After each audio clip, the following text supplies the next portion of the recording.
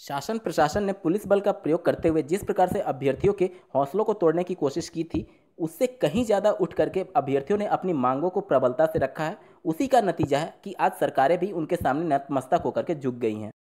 Back promote मुद्दे पर शासन स्तर पर 10 लोगों के प्रतिनिधि मंडल को बुलाया गया है डीएलएड रिप्रेजेंटेटिव्स को कि वह इस मुद्दे को समझाएँ और बैक प्रमोट मुद्दे पर क्या कुछ उनके द्वारा मांग की जा रही है उसके बारे में चर्चा करने के लिए। यहाँ पर मैं विशेष रूप से टिप्पणी कर दूँ कि यहाँ पर 50 प्रतिशत आप लोग की जीत हो चुकी है, लेकिन जो 50 प्रतिशत जीत बाकी है, वह इसी बात पर निर्भर करेगी कि कल आप लोग के द्वारा किस प्रकार से संघर्ष किया जाता है।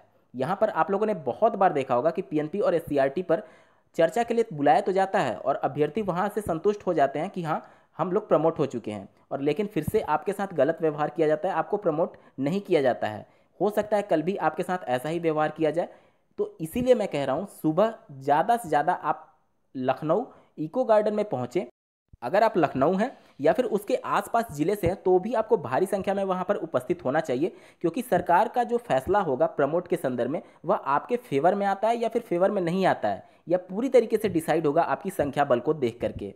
क्योंकि निश्चित तौर पर एक मनोवैज्ञानिक दबाव सरकार पर ज़रूर बनता है संख्या बल को देख करके, और आज जिस प्रकार से आप लोगों ने संघर्ष किया है, वो काबिल तारीफ़ है। और आपको अब इस संघर्ष को विराम नहीं रखना है, क्योंकि मैं भी चाहता हूँ कि जल्द से जल्द आप लोग को ये खुशखबरी दूँ कि आप सभी प्रमोट हो चुके हैं और आप आप चतुर्थ सेमेस्टर की पढ़ाई कर सकते हैं। लेकिन ये तभी पॉसिबल होगा जब आप ज़्यादा से ज़्यादा वहाँ पर संख्या बल दिखाएँगे। बिना संख्या बल के कुछ भी नहीं होगा। मैं फिर से रिपीट कर रहा हूँ, आप लोग पचास प्रतिशत जंग जीत चुके हैं। कल भारी संख्या में वहाँ उपस्थित ज़रूर रहिएगा बचे हुए पचास प्रतिशत जंग को जीतने के लिए।